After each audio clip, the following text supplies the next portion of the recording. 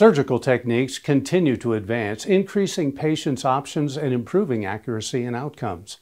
The New York Spine Institute continually stays on the cutting edge of these surgical advancements.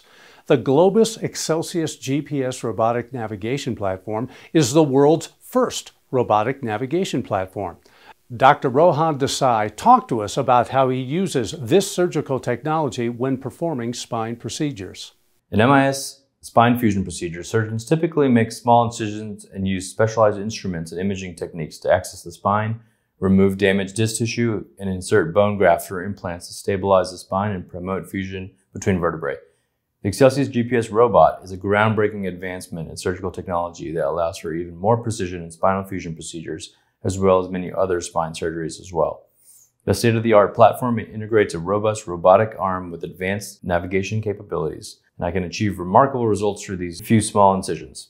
The robot is used in spine procedures such as posterior screw and rod fixation. On the day of surgery, medical images are taken and imported into the robot. These images are then used to determine the size and placement of screws to create a surgical plan that's based on the patient's anatomy in a safe and accurate manner. The Excelsius GPS gives me real-time feedback and enhanced visualization so I can navigate the complexities of placing the pedicle screws with extreme precision.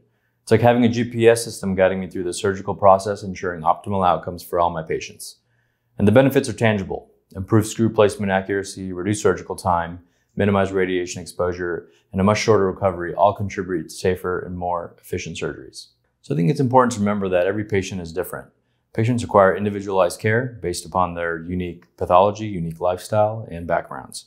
With the use of technology, I'm able to do just that by offering patients smaller surgeries with shorter recovery times, allowing them to return back to work and back to their activities in a timely fashion. The experts at NYSI specialize in the care and treatment for cervical disc disease, spinal deformities, scoliosis, and many other spinal conditions.